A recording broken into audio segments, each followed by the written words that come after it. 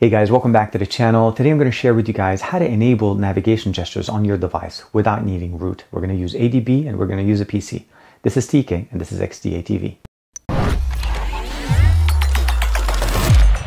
On our PC, what we need to make sure is install the latest version of the drivers. So this is the OEM USB drivers for our device. If you have more specific drivers, make sure you install those. And the other thing we need to make sure is have ADB installed. I'll give you guys a link to both of those in the description below.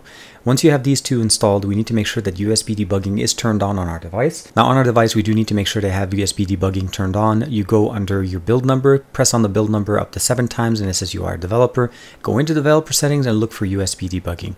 Turn that on and then connect it to your device and authenticate it.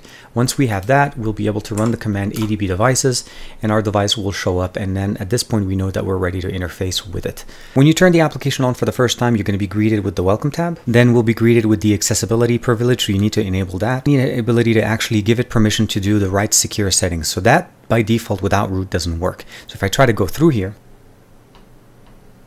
it does not work. So what we need to do here on our PC, we need to initiate this command and I'll give you guys, of course, all this information in the description below.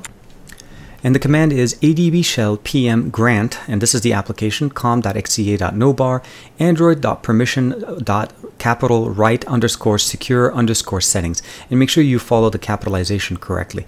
And what we're doing here essentially is giving it this permission as if we had root permission. So this is in lieu of having root on our device. And what we do here and just say grant, give it a second, the prompt comes back up.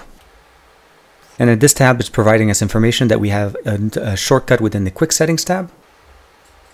And now we're all set. All we have to do is turn it on and we're able to use the application. Hope you guys found this walkthrough pretty simple. Again, it is only needed if you do not have root. If you have root, all of this is not needed. You just go through on your device. And if you do have root, it's a simple command. Again, all the information will be in the description below and you'll be ready to go in no time. Thank you very much. Like and subscribe as usual to this channel. Like and subscribe to my channel. And I'll see you guys in the next video.